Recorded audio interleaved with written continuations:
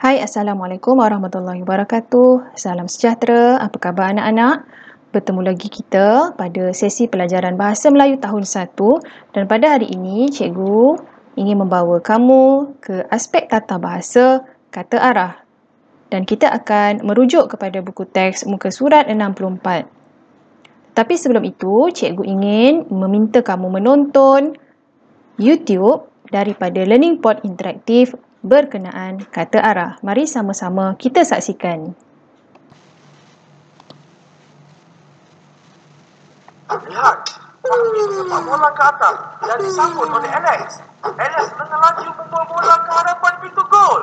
Oh tidak, Kibar daripada pasukan pihak lawan telah berjaya merampas bola dari arah belakang dan menyepak ke arah kanan. Oh, gol! Hah, cemas sungguh kan?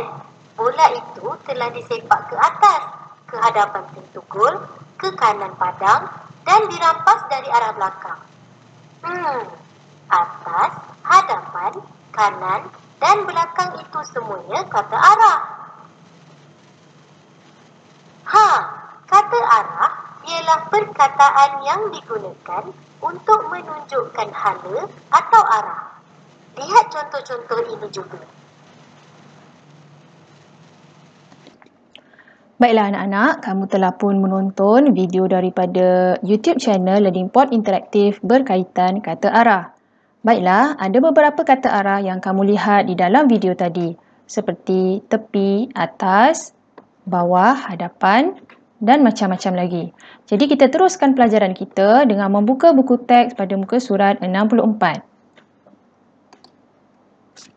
Baiklah, jika kamu telah membuka buku teks pada muka surat 64, kamu akan lihat teks ini bertajuk Selamat dalam pesawat. Apakah maksud pesawat? Pesawat bermaksud kapal terbang. Baiklah, mari kita baca bersama-sama teks ini dengan sebutan dan intonasi yang betul. Aina dan Aiza berasa seronok menaiki kapal terbang.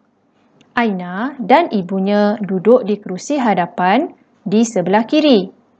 Aiza dan ayah pula duduk di kerusi belakang di sebelah kanan.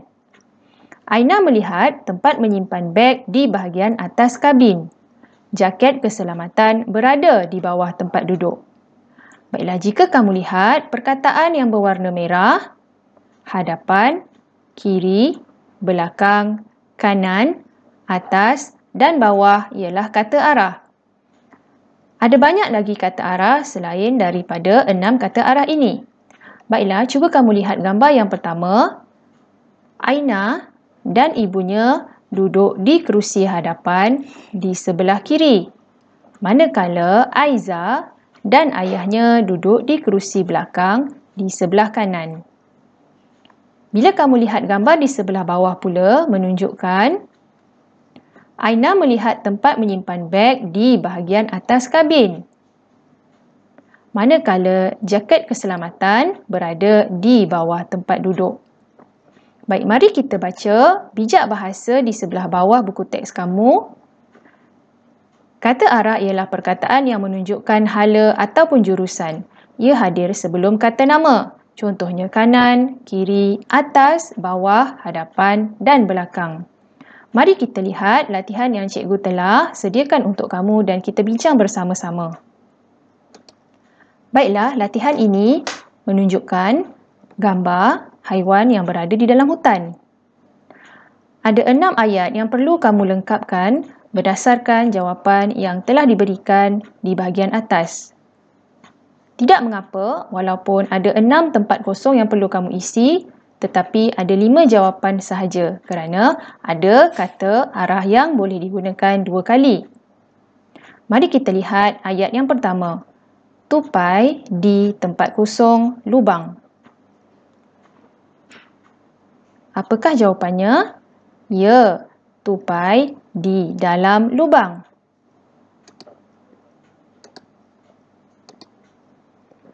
Lihat ayat yang kedua, burung di tempat kosong dahan. Apakah jawapannya?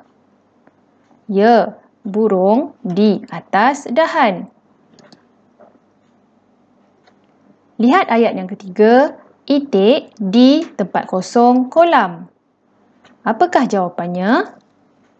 Ya, di tepi kolam. Seterusnya, lihat ayat yang keempat, katak di tempat kosong batu. Apakah jawapannya? Ya, di atas batu. Seterusnya, lihat ayat yang kelima, arnab di tempat kosong pohon. Apakah jawapannya? Ya, di belakang pohon. Pohon bermaksud pokok. Dan ayat yang keenam, ayam di tempat kosong pohon.